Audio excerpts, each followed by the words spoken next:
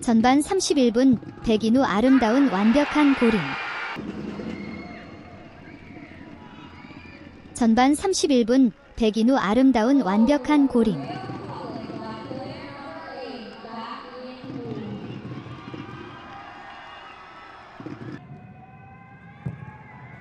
일본 이란을 3대 0 승리하여 결승에 진출. 대한민국 우즈벡 1대 0 승리하여 결승 진출.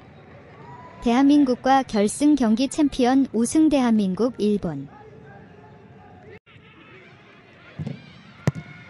일본 이란을 3대 0 승리하여 결승에 진출.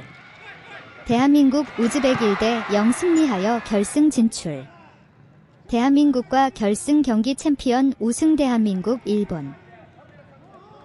우승컵 차지하기. 일본과 대한민국 결승 경기 7월 2일.